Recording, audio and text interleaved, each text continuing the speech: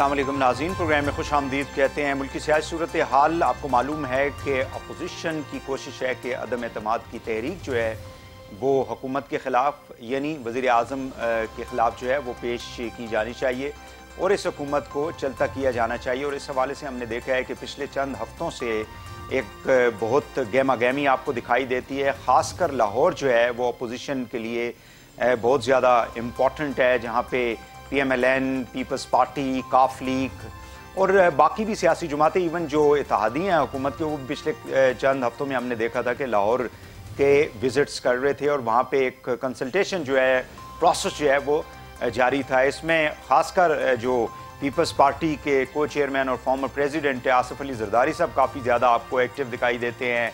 मुख्तलिफ़ जो political parties हैं, उसके दरमियान एक बड़ा इंपॉर्टेंट ब्रिज का किरदार जो है, वो अदा कर रहे हैं बट द क्वेश्चन इज़ कि क्या ये तो एक नंबर गेम है? क्या अपोजिशन के पास वो नंबर पूरा है? और उसको पूरा करने के लिए हम देखते हैं कि हुकूमत के इतिहादियों के साथ भी वो मुजाकर कर रहे हैं, काफ लीक है, इसी तरह एम क्यू एम को भी अप्रोच किया जा रहा है। बाकी जो जमातें हैं हुकूमत की इतिहादी और फिर within the party P T I की जो जैसे जहांगीर तरीन साहब का ग्रुप बताया जाता है, फिर उसके अलावा अपोजिशन ये क्लेम करती है कि हमारे साथ काफ़ी ज़्यादा जो तादाद है पीटीआई के एमएनएस की उनका हमारे साथ रबता है।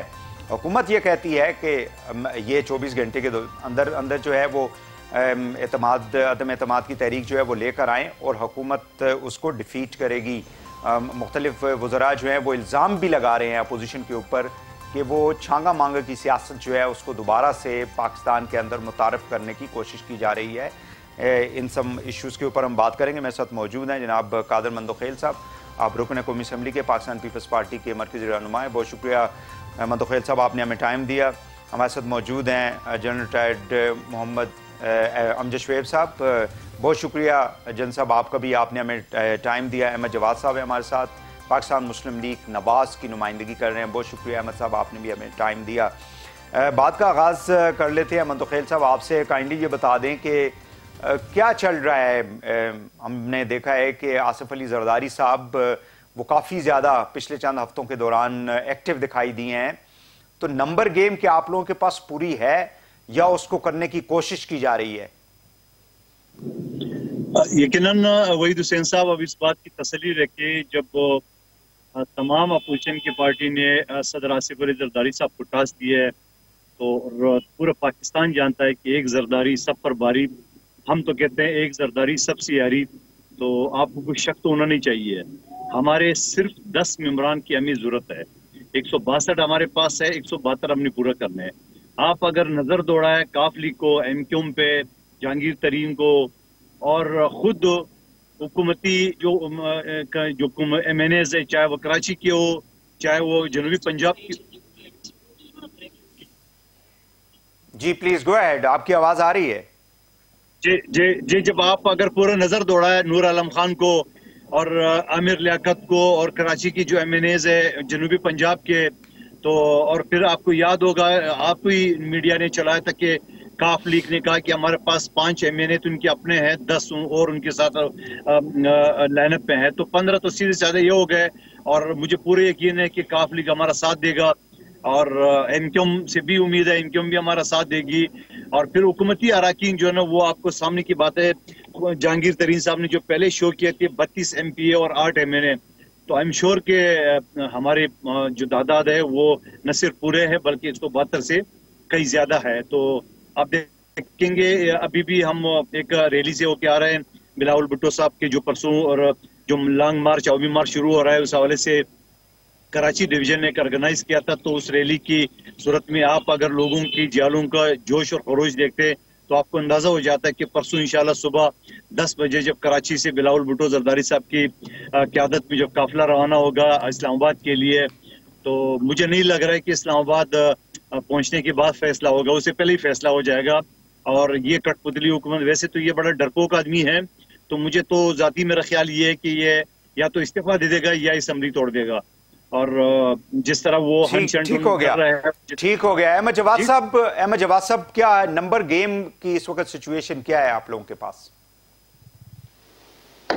देखिए वहीद साहब मैं तो एक बात कहूँगा कि मसला नंबर गेम का पहले भी नहीं था। हाँ ये ज़रूर है कि पीपल्स पार्टी और पीएमएलएन और पीडीएम इनके दरमियान जो है वो नई एक कंसेंसस डेवलप हो सका। वो ज़ाहिर है कि एक रुकावट थी वो दूर हो गई। अब तो नंबर गेम का इशू नहीं है। अगर इस हुकूमत की बैसाखियाँ इनसे हटा ली जाएँ तो ये आप समझें कि कोई नंबर गेम का इशू नहीं है। नहीं लेकिन अगर नंबर गेम का इशू नहीं है तो फिर इतिहादियों के पास जाने की क्या ज़रूरत है आप लोगों को? जितनी ज़्यादा यानी एक्टिवली हम देख रहे हैं काफ लीग के पास आप लोगों की क्यादत एक अरसे के बाद जो है, यानी सालों के बाद वहाँ पे गई है तो इट मीन्स के देर इज़ अ इशू देखें इशू आप, एक ठीक है, आपने एक तादाद जो है वो गैदर करनी है, लेकिन कोई इतिहादी जो है, वो कोई पार्लियामेंट में ये लिख के तो नहीं लाए कि उन्होंने सिर्फ़ पीटीआई के साथ देना है हमेशा। इतिहादी एक इंडिपेंडेंट पार्टीज़ हैं उन्होंने अगर पहले पीटीआई का साथ दिया है अब वो किसी और का साथ देना चाहते हैं तो वो इंडिपेंडेंट है। लेकिन मोहन तो सिलाई तो की जो स्टेटमेंट थी उसको कैसे लेंगे जो प्राइम मिनिस्टर को उन्होंने एक तकरीब में कहा था? देखिए वो तो काफ़ी पुरानी बात हो गई है उसके बाद तो काफ़ी पुलों के नीचे से पानी गुजर गया है। लेकिन जो चीज़ मैं आपको बताना चाह रहा हूँ आज भी एक खबर ये छपी हुई थी कि डीजीआईएसआई की तरफ़ से इंस्ट्रक्शंस मिली हैं कि आईएसआई के अंदर कोई भी सियासत से दूर रहे और किसी किस्म की कोई सपोर्ट देने की ज़रूरत नहीं है। मुझे इस खबर का नहीं पता कि ये कितनी ऑथेंटिक है, लेकिन जो बात मैंने बैसाखियों की की थी तो ये मैं उसी तनाजर में बात कर रहा हूँ कि आज इस हुकूमत की आप बैसाखियाँ हटा लें तो ये तो 24 घंटे भी सस्टेन नहीं कर सकती। तो ये जो तरीके अदम एतमाद आ रही है इसका मतलब है अभी तक बैसाखियाँ बैसाखियाँ जो है वो मौजूद हैं। बैसाखियाँ मैं बता देता हूँ ना आपको बैसाखियाँ उस वक्त तक मौजूद हैं जब तक के हुकूमत गिर ना जाए। अब उसकी तरफ़ अगर एक तैयारी हो रही है एक स्ट्रेटेजी बन रही है जो कि बाहिर अभी सक्सेसफुल नज़र आ रही है तो लेकिन इसका कल्मिनेशन तो तब होगा ना जब पार्लियामेंट के अंदर ये तहरीक आएगी और इसके हक में कितने वोट जो हैं वो खड़े होते हैं। लेकिन उसका जो फैक्टर है विनिंग फैक्टर मैंने आपको बता दिया है कि विनिंग फैक्टर एक ही है कि इस हकूमत का आज तक साढ़े तीन साल जो ये खड़ी रही है वो बैसाखियों के सारे ये हटा दें ये धड़म करके नीचे गिर जाएँगे। ठीक हो गया। जन साहब क्या देखते हैं आप ये जो बहुत ज़्यादा एक एक्टिविटी हम देख रहे हैं पिछले चंद हफ्तों के दौरान do you think there is a danger for this PTI government specially Imran Khan साहब? देखिए एक अनसर्टनिटी ज़रूर है हुकूमत पे प्रेशर भी है। और जिस तरह पीटीआई जब हुकूमत में आई तो उस तरह बहुत सारे दूसरी पार्टियों से लोग आके मिले। वो कोई नजरियाती लोग तो नहीं थे ना उनके भी अपने मफादात थे जिसकी वजह से वो आए। और आप कह लीजिए कि ये एक तबका ऐसा है जो हर दौर में हर आप, आप पिछले तीन अदवार देख लें जिन जनरल मुशर्रफ को कंडेम किया करते थे तो उसके तो बड़े बड़े लोग अभी नून लीग में तकरीबन सौ से ज़्यादा लोग थे जो अपने जब हुकूमत में आए तो इनको वो लोग शामिल हुए। तो कहीं भी कोई इखलाकियात वाला अमल दखल नहीं है, मफादात की सियासत है। जिन लोगों को ये मिलाना चाह रहे हैं, वो लाजमन उनको कुछ ऑफ़र करेंगे और वो भी अपनी डिमांड सामने रखेंगे। डिमांड पूरी होगी तो बिल्कुल मिल जाएँगे कोई ऐसी बात नहीं है। ज़्यादातर टिकट्स ज़्यादातर आइंदा के टिकट्स का इशू है जो पीएमएलएन से मतलब ऑफ़ द रिकॉर्ड जी जी सिर्फ़ टिकट का नहीं है सिर्फ़ टिकट का नहीं है।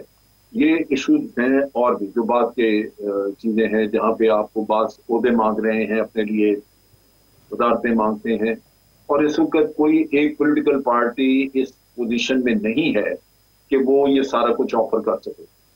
उसकी बुनियादी वजह यह है कि इनमें से कोई भी पॉलिटिकल पार्टी अपने तौर पे अकेले वो इलेक्शन जीत के पूरी, पूरे मुल्क के लिए अपनी हुकूमतें हाथ जगह नहीं बना सकती और खासतौर पर मरकज में हुकूमत बनाने के लिए दूसरी पार्टियों की ज़रूरत होगी, दूसरी पार्टियों से पोलिशन पार्टनर आपको लेने पड़ेंगे, जो अंदाजन लगता ही है। तो इन हालात में आप वादे करें जो बाद में पूरे ना हो सके और यही पीटीआई का भी अलमिया हुआ कि इन्होंने भी वादे किए होंगे लाजमन, क्योंकि जो लोग डिसटिस्फाइड फिर रहे हैं उनको अक्सर उनमें से वो है जिनको कुछ नहीं मिला हुआ हम्म। तो ये इशू मौजूद है जिसकी वजह से कोई बात लोग हो सकता है कि साथ देना पसंद करें अगर उनके अपने मतालबात पूरे हो जाते हैं और उनको वो वादे जो जो वो चाहते हैं उनसे कर दिए जाते हैं। तो शायद उनको ये सपोर्ट मिल जाए। बाकी ये है कि तो हुकूमत भी तो एफर्ट कर रही है ना जैसे इतिहादियों को सुना है कि कोई वज, वज़ीर मुमलिकत के अहदे जो हैं वो देना चाह रहे हैं या उसको उनसे एग्री कर लिया है तो, वादे बड़े बड़े कर रहे हैं। देखिए बाद जगहों पे मिसाल के तौर पे गुजरात है। वहाँ टिकट आप मांगते हैं कि जी नून लीग हमें टिकट दे दे। तो क्या नून लीग अपने जाफ़र इकबाल को छोड़ के किसी और को दे देगी? हम्म। बहुत सारी जगहों पे आपको ये इश्यूज़ भी हैं कि अगर खाली टिकट पे भी बात करें तो आप दे नहीं सकते। क्योंकि आपके अपने स्टॉल वर्ड वहाँ मौजूद हैं, जो अरसा दराज थे जो हर मुश्किल वक्त में आप पार्टी के साथ खड़े रहे हैं, आप उनको इग्नोर करके किसी और को दे दें, इसलिए कि वो आज आपको नो कॉन्फिडेंस के साथ दे दें ये प्रॉब्लम्स हैं। अगर ये रिजॉल्व हो गई होती और इतना आसान होता तो आप बहुत दिन पहले देख लेते कि ये आ जाती नो नो कॉन्फिडेंस का कैसा शुरू हो जाता है इतने करने की क्या? एंड पे ये भी पॉसिबिलिटी मौजूद है। हो सकता है कि नो कॉन्फिडेंस के लिए लोग मिल जाए, लेकिन ये भी पॉसिबिलिटी है कि नो कॉन्फिडेंस भी ना आए और जो तेईस मार्च की लॉन्ग मार्च करनी थी वो भी दैट में also go go for six क्योंकि उससे फोकस हट चुका हुआ है किसी ने इस इस काम पे लगा दिया इन लोगों को कि नो कॉन्फिडेंस और वो मारे मारे फिर रहे हैं उस काम के लिए। जबकि पता है कि सियासी छात्रबाजी हर जगह है और लोग अपने अपने मुतालबा लेके फिर रहे हैं अपनी कीमत वसूल करने के लिए। और अगर कीमत नहीं मिलती और नो कॉन्फिडेंस कल को नहीं आती तो तेईस मार्च भी गई और भी गया। तो मेरा ख्याल है कि ये एक इस स्टेज के ऊपर ये कहना कि ये हो जाएगा ये वो हो जाएगा ये जरा मुश्किल नज़र आता है। इस वक्त दोनों तरफ़ सूरत हाल मुझे तो ओपन नज़र आती है। बावजूद इसके कि हुकूमत के साथ बहुत सारे लोग ऐसे हैं जो उससे मुतमिन नहीं उनके मुतालबात पूरे नहीं हुए। लेकिन जी। क्या हासिल अगर अगर अपने लोग भी हैं जी हाँ। जी बिल्कुल सही है पार्टी छोड़ने का फ़ायदा क्या? ये चीज़ें हैं। बिल्कुल सही है नाजीन क्विकली शॉर्ट ब्रेक लेते हैं और वापस आके ये जो छांगा मांगा की सियासत और फवाद चौधरी साहब ने कहा जी कि हमारे तीन एम को जो है, वो पैसा ऑफ़र किया गया है। इस हवाले से भी हम अपने पैनलिस्ट से पूछेंगे। ब्रेक के बाद हमारे साथ रहिएगा।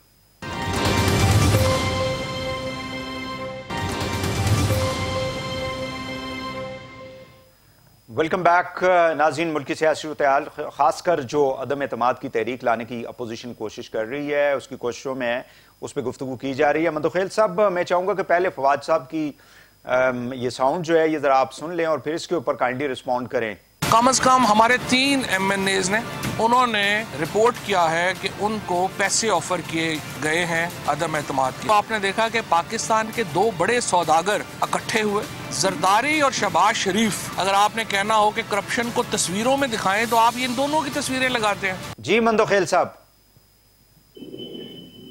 देखिए मैं क्या कहूँ उनके बारे में ये तो खुद हमारी बात की तस्दीक कर रहे हैं कि हुकूमती अरकान अपोजिशन के पास हैं।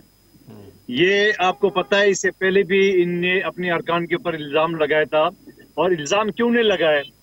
जब ये अपनी अरकान को मुलाकात करने नहीं, नहीं करता है और उसके बाद इतनी महँगाई और इतनी तूफानी बदतमीजी और खारजा पॉलिसी के जो बेड़ा गर्क है आपके सामने पूरी दुनिया रूस को लानत दे रही है। और ये जाके रूस के साथ बैठ गए साढ़े तीन घंटे और बड़ा फख्र से कहते हैं जबकि डिप्टी प्राइम डिप्टी वज़ीर खारजा ने उसको इस्तेमाल किया है। तो सवाल ये कि ये इस बात की तस्दीक कर रहा है कि हुकूमती अरकान अपोजिशन का साथ दे रहे अदम एतमाद का तो लेकिन, तो ले, लेकिन जिस पिराए में वो बात कर रहे हैं वो पिराया कोई ठीक नहीं है क्योंकि आपको याद होगा गिलानी साहब की जब सेनेट का इंतखब था तो उनकी भी एक वीडियो मूसा गिलानी साहब की जब सामने आई थी तो पीपल्स पार्टी के ऊपर तो फिर सवाल उठाए गए और आपको पता है कि खान साहब ने एक लाहौर में तकरीब में ये भी कहा, जी के जरदारी साहब जो हैं वो चेक बुक ले के घूम रहे हैं, इस तरह की कुछ बातें की थी। सो ये कोई मतलब ये नेगेटिव बात है ना कि आप बजाय इसके कि कोई आइडियोलॉजिकली किसी को कन्विंस करने की कोशिश करें, आप पैसे बांट के लोगों को अगर साथ मिलाएँगे तो फिर तो अपोजिशन के लिए मुश्किल नहीं हो जाएगा। देखिए, आपने उनकी बात पे यकीन करके और हमें यकसर आपने मुस्तरद कर दिए। ये तो झूठों का आईजी है।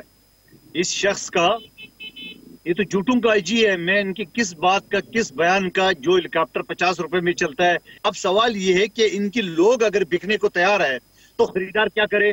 पहली बात हुई है। दूसरी बात यह है कि आपको जो सूरत अभी लग रही है महँगाई का और पेट्रोल का ये मजीद बढ़ा रहा है पहली तारीख से। और न सिर्फ़ पेट्रोल बढ़ा रहा है, गैस भी बढ़ा रहा है। इनके जो पेट्रोलियम का जो सेक्रेटरी है, ये अभी स्टैंडिंग कमेटी के सामने उसे स्टेटमेंट दिया अब ऐसी सूरत में तो कोई आइडियल सूरत तो नहीं है। जब ऐसी सूरत है तो लोगों को पैसे देने की ज़रूरत नहीं है। और फिर दूसरी बात ही मैं सद के जाऊँ इन नायलों के टोले का, वो जहांगीर तरीन साहब जो जहाज़ लेके घूम रहा था, इनकी हुकूमत बनाने के लिए 2018 वो तो बड़ा अच्छा लगा था। और फिर ये बातें करे, चंगा मंगा की, ये बातें करे चेकबुक की तो इनकी अपनी जो जहाज़ जहांगीर तरीन साहब लेके घूम रहे थे और पूरे पाकिस्तान में एमपीए और एमएनए उठा उठा के इनकी झोली में डाल रहे थे वो बात उनको याद नहीं है। आरटीएस सिस्टम ने बिठवा के अपने आप को जितवा दिए 48 घंटे बाद वो याद नहीं है। आज ये आज ये वीएम सिस्टम लाके ये 2023 का इलेक्शन जो ना, अभी से जो ना वो दांधली की शक्ल दांधली की नज़र कराई, ये बातें उनको याद नहीं है। और फिर आप अपने दिल पे हाथ रखे आप मुझे बता दो कि इस शख्स की, जिसको खुद नहीं पता, मेरे ख्याल में इसके गले में एक तख्ती लगा दे कि भाई प्राइम मिनिस्टर ऑफ़ पाकिस्तान। आप इनके रहनुमाओं को देख ले, हर आदमी करे वजी इमरान खान। वो भाई तो सबको पता है वजी अजम बन गया अभी रिपीट हम्म। करने की क्या ज़रूरत है? घर से निकलता है वो अगला उसको वजी अजम कह के भाई आप वास्कट पहन के जाओ आप वजी अजम हो। सवाल ये ऐसी सूरत हाल में हमें किसी को खरीदने की ज़रूरत ही नहीं है। और अगर आप खुद नूर आलम खान का जो स्पीच है वो कौमी असम्बली में उस वक्त मौजूद था जो स्पीच उन्होंने किया था कि आगे तीन लाइन जो ना वो एसीएल में डाल दे पाकिस्तान ठीक हो जाएगा। आमिर लियाकत का इनका सिद्दीकी का एक एक आदमी का और खुद परवेज खटक साहब का जो उन्होंने काबीना के दौरान उसको कहा है जो और आपके सामने तो ये सारी बातें तो इस बात की निशानदेही है कि हमें किसी को खरीदने की ज़रूरत ज़रूरत नहीं है। ठीक हो गया ठीक हो गया। मैं अहमद जवाद साहब अहमद जवाद साहब जी। ये जो फवाद साहब कहते हैं जी कि अगर आपको करप्शन की तस्वीर देखनी हो तो इन दोनों की यानी मोहतरम जरदारी साहब की और शहबाज साहब की उन्होंने कहा कि उनकी तस्वीरें लगा दें तो आपको पता चल जाएगा कि करप्शन हो रही है। So what is your opinion मतलब ये जो बातें गवर्नमेंट कर रही है ये आपको डिस्क्रेडिट करने के लिए कर रही है? साहब जुमला कह दूँ फवाद साहब की खिदमत में। देखें। जी जी फवाद चौधरी साहब एक दिन में सुप्रीम कोर्ट के वकील बने। मेरे पास पचास केस थे इनके पास साढ़े आठ सौ केसेस थे। जरा पता कर ले इनका चाचा चीफ जस्टिस था लाहौर हाईकोर्ट का। इससे आगे कुछ नहीं बोलूँगा। ठीक है। जी जी जी अहमद जवाब साहब। जी देखें वही साहब एक तो पहली बात यह है कि एक ऐसा लीडर जो जिसकी माजी में ऐसे ऐसी स्टेटमेंट्स हों कि जिसके बाद मेरा ख्याल है कि उसके किसी भी बयान को संजीदा नहीं लेना चाहिए। ठीक। जो ये कहे कि आईएमएफ में जान, जाने से पहले मैं खुदकुशी कर लूँगा सियासत में आने से पहले मैं गोली मार लूँगा अपने आप को तो संजीदगी जो है वो तो है ही नहीं।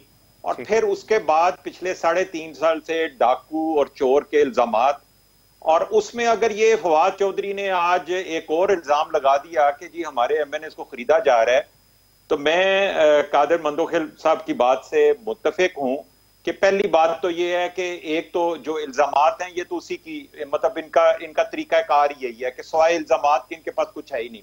ना इनके पास परफॉर्मेंस है ना डिलीवरी है। सो इल्ज़ाम लगा के ये अपनी गाड़ी चला तो अहमद साहब ये, अहमद जवाब साहब वैसे जिमनी एक मैं वो कर रहा हूँ कि ये फेक न्यूज़ में नहीं आएगा इस तरह की बात अगर आप जब क्रेडिबल वो ये ये तो देखिए अगर फेक न्यूज़ वाला अगर कानून करें तो मेरा ख्याल है कि सबसे पहले वो लागू होगा प्राइम मिनिस्टर के ऊपर उसके बाद शहबाज गिल के ऊपर उसके बाद फवाद चौधरी के ऊपर और फिर उनकी पूरी टीम के ऊपर। वो वो सारे फेक न्यूज़ के जो है ना वो पूरी सीरीज़ आपको वहाँ से मिलेगी। हम्म। मैं तो ये कह रहा हूँ कि ये जो इल्ज़ाम की सियासत है ये तो साढ़े तीन साल में इन्होंने कोई एक चीज़ साबित की है। लेकिन एक चीज़ जो मैं आपको कहना चाहूँगा वो ये है कि आज अगर फवाद चौधरी ये कह रहा है कि जी तीन इनके इनके एम एन एस को ऑफ़र हुई है तो इसका मतलब ये है कि अब गबर, इनको घबरा लेना चाहिए। वो जो प्राइम मिनिस्टर इनको कहता है ना घबराना नहीं। अब इनको घबरा लेना चाहिए कि अब, और ये घबराहट में ही इस किस्म के बयान आ रहे हैं। इससे इनकी फ्रस्ट्रेशन का अंदाज़ा हो रहा है। और आप इनकी अगर बॉडी लैंग्वेज देखें तो ये जो रूस में गई हुई थी एक टीम ये जितने ढीले अंदाज में और जितने परेशान और लॉस्ट जिस तरह से होते हैं, उससे भी आपको अंदाज़ा हो जाएगा कि ये इनका आखिरी बैरून मुल्क दौरा था। इस हकूमत का और इस प्राइम मिनिस्टर का ये बैरून मुल्क का आखिरी दौरा है। ये आज के इस प्रोग्राम में आप रिकॉर्ड कर लें मेरी बात कि ये एंड हो गया है। इसके बाद जो तरीके अदम अतमाद और जैसे मैंने आपको कहा है कि इस मुल्क में माहौल तब्दील हुआ है, लोगों ने अपने लेसन सीखे हैं। ये बैसाखियों वाली गेम अब नहीं चल सकेगी।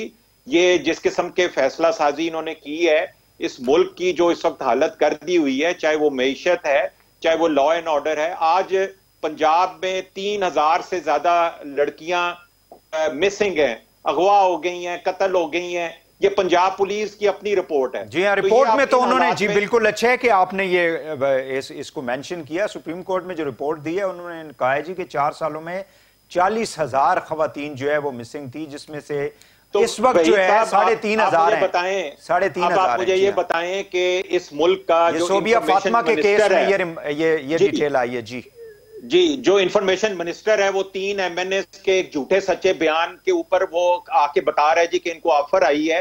तुम ये तो बताओ यार, जो चालीस हज़ार खुवान जो है, तुम्हारे दौरे हुकूमत में हुआ हुई हैं, उसका तुम हिसाब दो। अगर तुमने और कोई बात करनी है तो यूक्रेन में जो तालब इलम फंसे हुए हैं, जो वहाँ पे चीखे मार रहे हैं, जो कि वहाँ पे सड़कों के ऊपर पड़े हुए हैं, तुम उसके बारे में बात करो। तुम खुद से तो रूस से वापस आगे हाथ में थैले पकड़े हुए लेकिन वो जो तालिब इलम वहाँ पे ख्वार हो रहे हैं जिनको पहले बुलाया गया कि आप इधर आ जाओ जी वहाँ पे जब पहुँचे तो उनको कहा कि यहाँ से आगे चले जाओ। एक स्टूडेंट एक तालब इलम के पास कहाँ रिसोर्सेज होते हैं इतने ज़्यादा कि वो एमरजेंसी में इतनी बड़ी मूवमेंट कर सके। हम्म। और वहाँ पे अब जो बैंकिंग का सिस्टम और एटीएम हर चीज़ अब आप सोचें बंद है। जो मसाइल हैं वो हल कोई नहीं है। सिर्फ़ इनकी सुबह इनकी शाम एक इल्ज़ाम दूसरा इल्ज़ाम तीसरा इल्ज़ाम चौथा इल्ज़ाम ना इन्होंने कभी कोई साबित करना है।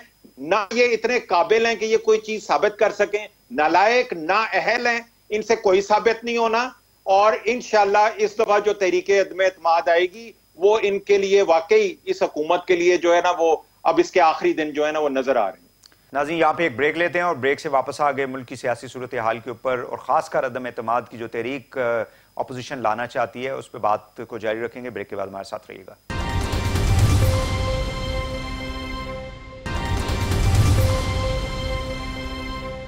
वेलकम बैक नाजीन मुल्क सियासी सूरत हाल, खासकर अदम एतमाद की जो तहरीक प्राइम मिनिस्टर के खिलाफ अपोजिशन ला रही है, उस पर बात हो रही है। जल साहब आप काइंडली ये बता दें कि ये जिस किस्म की सिचुएशन मतलब अब अपोजिशन की अगर जमातों को हम देखें तो उसमें काफ लीग जो है सुनने में ये आ रहा है कि चीफ मिनिस्टरशिप जो है, उनको कहा जाता है जी कि हम आपको दे सकते हैं, अगर आप साथ दें पंजाब के अंदर। सेंटर में जो प्राइम मिनिस्टर का अहदा है, वो शहबाज शरीफ साहब का नाम तो आ रहा है, लेकिन जो कायद है पीएमएलएन के, वो शायद इस असम्बली को अगले साल तक ले जाने में कोई उसके मतलब वो कोई ज़्यादा एग्रेसिव दिखाई नहीं देते। वो चाहते हैं कि इनको खत्म किया जाए और नए इलेक्शन की तरफ़ जाया जाए। सो ये जो डिफरेंसेस हैं डू यू थिंक कि अपोजिशन की जमातें जो हैं, इन सारी जो चैलेंजेस हैं, इसके ऊपर काबू कर लेंगे? चैलेंज बड़े मुश्किल है, क्योंकि देखिए, मौलाना फजल रहमान की जो लीडरशिप थी, वो हाथ से निकल गई। वो बड़े चौधरी बने हुए थे, लेकिन आज जरदारी साहब को चौधरी बना दिया गया। तो मौलाना तो पहले ही पहले बेरोजगार थे, अब बेकार भी नज़र आ रहे हैं तो उनके अपने बड़े, काफ़ी सारे उनके भी तहफात हैं। वो नहीं चाहते कि ये असम्बलियाँ कंटिन्यू करें। तो इश्यूज़ तो होंगे आपस में। लेकिन ये कहना कि नंबर नंबर पूरे किए जा सकते हैं। देखें, जरदारी साहब लीड में हैं मैं पूरे पूरे वसूख से कह सकता हूँ कि पैसा इस्तेमाल होगा। क्योंकि मैंने जैसे बलूचिस्तान में जब गवर्नमेंट बदली थी और ये स्पीकर वहाँ से आए और सारा ये किस्सा हुआ उस वक्त पैसा इन्होंने लगाया था वहाँ पे। और जिसने बांटा वो मेरे साथ टेलीविज़न प्रोग्राम में एक में थे उन्होंने खुद तस्लीम किया कि हमने पैसा बांटा ही है। और उन्होंने कहा जी मैंने दिया। मैं जाकर देता हूँ। पीपल्स पार्टी का जरदारी साहब का इंतहाई करीबी। क्या नाम था उनका? और फिर आपने वो आपने नाम कभी आप प्राइवेटली पूछेंगे तो मैं बता दूँगा आपको। लेकिन दूसरी तरफ़ ये है कि अभी अभी आपने देखा न्यूज़ के जो कलम तो आपके खिलाफ आ जाए। बता देना तो नाम शर्मा की हो रही है नहीं तो बता के पीपल्स पार्टी है जरदारी तो नाम बता दे ताकि हम भी साथ ले। लें कादर आप एक मिनट जरा सुन लीजिए ना बात फिर आप बात कीजिए। नाम भी बता देना आप करें ना। आप हवा में बातें ना करें सुनना तो मुझसे सुन लेना। चले कादर साहब सुन ले जल साहब को सुन ले कादर साहब लेट अभी अभी आप करें? अभी आप खाम खा जो ना इस तरफ़ बात सुनो। कादर साहब आगे पीछे कोई लिहाज नहीं है ना हम उसको छुपाना चाहेंगे। हमारा सबसे बड़ा जरदारी साहब है। आपने उनके इल्ज़ाम लगा दिए चले कादर साहब कादर साहब लेट हिम स्पीक किसी को भी हमारे करीबी बना दी इससे हमारा क्या वास्ता? आप नाम बता दी हिम्मत करें ना। आप मेरे पास आएँगे तो मैं आपको बता दूँगा। नहीं नहीं आप आप मैं फेक पाकिस्तान को नहीं बताना चाहता। मैं लाइव प्रोग्राम में पूरे पाकिस्तान को नहीं बताना चाहता। आप आएँगे तो आपको बता दूँ। सरदारी साहब को बदनाम करने के लिए। बता दें नहीं हिम्मत करें ना जो सरदारी सकते। साहब के साथ जायदाद का झगड़ा है। ना मेरा किसी पॉलिटिकल पार्टी से वास्ता ना मेरा जरदारी से जायदाद का झगड़ा है। आप पता नहीं क्या बातें कर रहे हो। आप आप आप टीवी पे बैठते हो आप ऐसे हवा में बातें करते हो। जरदारी साहब का नाम ले लिया आपने। कादर साहब please let him speak Qadir साहब प्लीज़ खामोश हो जाए। उनको बोलने दे फिर आप फिर आप बोल लीजिएगा। फिर आप बोल लीजिएगा प्लीज़ जी। आप ये से फजूल की बातें करें सरदारी साहब के खिलाफ। मैं सुनता रहूँगा इनकी बातें। मंदोखेल साहब आप प्लीज़ अपनी बारी पे बोल लीजिएगा। ये पहला टारगेट इसी का होगा ये आप माशाल्लाह इतने इतने बड़े वकील हैं पार्लियामेंटेरियन है सुन लें।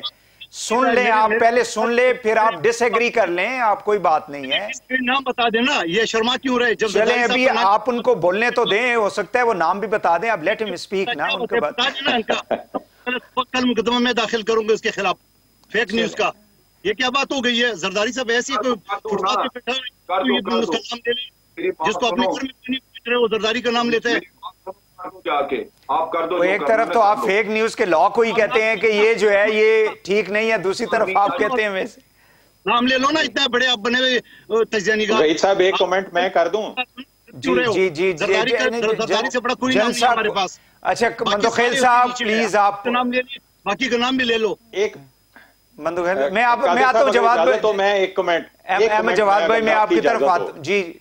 एक कमेंट मैं मैं कादिर भाई एक मिनट जरा एक कमेंट आपकी इजाज़त से जनरल साहब की भी इजाज़त से। देखिए मैंने भी थोड़ी देर पहले क्या बात की थी?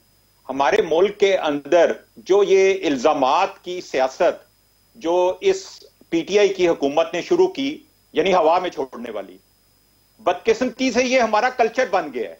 ये हमारी सकाफत बन गई है। ये हमारी सोशल नॉर्म बन गई है। कि जो भी बंदा है वो कोई भी चीज़ जो है वो एक हवा में छोड़ देगा जी पैसे चल रहे हैं ये चल रहा है वो चल रहा है। देखें ये इस तरह से तो जो है वो मुआशरे नहीं चलते। हमें अगर किसी के बारे में कोई बात करनी है तो फिर हम हमें इतनी हिम्मत होनी चाहिए कि हम फिर उसका नाम लें।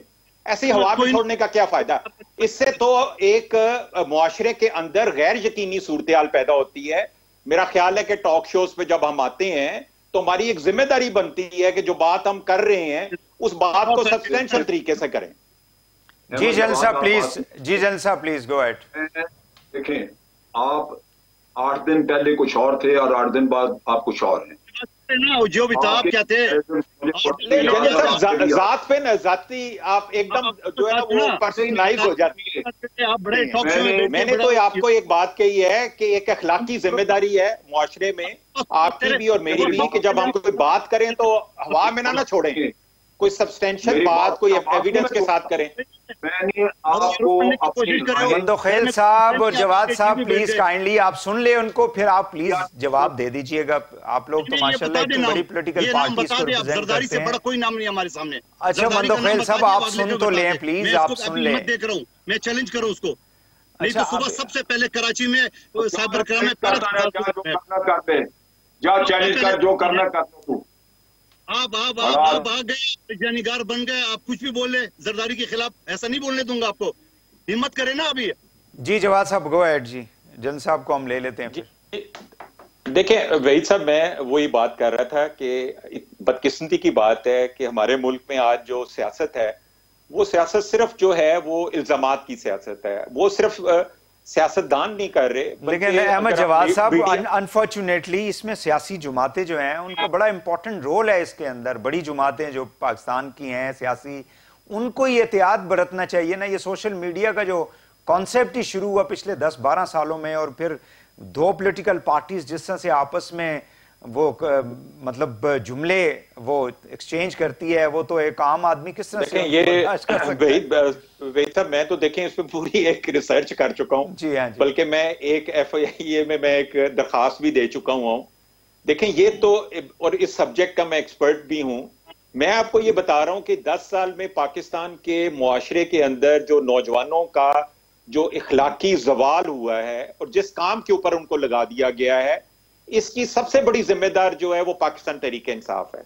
और ये चीज़ एक इंस्पिरेशन है from the leader from the top leadership कि आप जब पीएमएलएन को भी एहतियात करनी चाहिए। पीपल्स पार्टी का तो हमने नहीं देखा कभी इस किस्म का सोशल मीडिया के ऊपर जो है ना देखिए कोई लोगों की इज्जतों को उछालने का। बट आई थिंक ये सारी जुमातें जो है खासकर बड़ी दो जुमातें पीएमएलएन पीटीआई के जो लोगों को बहुत एहतियात करनी चाहिए because they have to educate the nation देखें आज हम वही साहब देखें बात कर रहे थे आपने देखें टोटल जो बुनियाद थी वो ये थी कि फवाद चौधरी साहब ने आज हवा में छोड़ दिया जी के तीन एमएनए को पैसे ऑफ़र हुए हाँ। आप हुकूमत के अंदर हैं एमएनए आपके हैं आप एफ़ आई आर दर्ज करा दें। सही है। आप आप क्यों ये या आप उनको डी सीट करें उनको उनको उनको आप, आप जिनको ऑफ़र आई है डर किस बात का है?